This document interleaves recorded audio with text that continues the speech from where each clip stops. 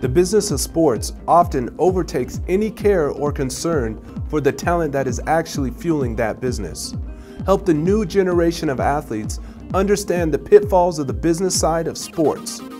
Visit my Kickstarter page now to learn more.